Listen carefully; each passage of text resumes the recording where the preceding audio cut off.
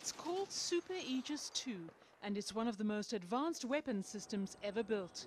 Built by its manufacturers DoDAAM of South Korea as a total security solution, the Super Aegis is an automated turret system that supports a variety of weapons, from a standard machine gun to a surface-to-air missile.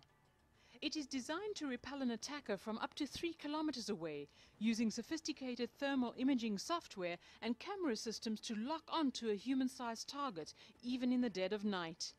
The system requires no human presence. It's all operated robotically from a distant control room. DoDAAM Systems Vice President Park Sung-ho says the high-tech weapon could become an integral component in South Korea's ongoing military face-off with North Korea across the heavily armed demilitarized zone.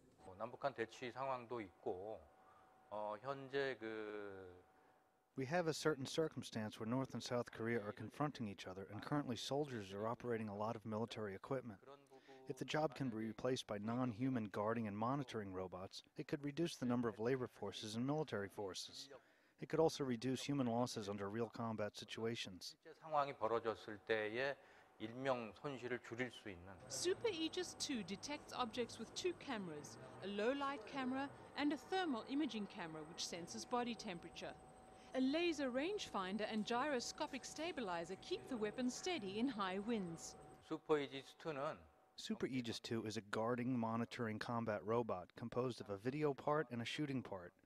The video part consists of a day and night color camera, thermal camera, and a laser rangefinder which measures the distance. The shooting part consists of a section that uses the incoming image from the video part to detect the object and to destroy it. It's not yet clear, though, whether the Super Aegis II will be deployed along the border. The 60 year old armistice agreement between North and South Korea specifies limits for the weapons each side can point at one another.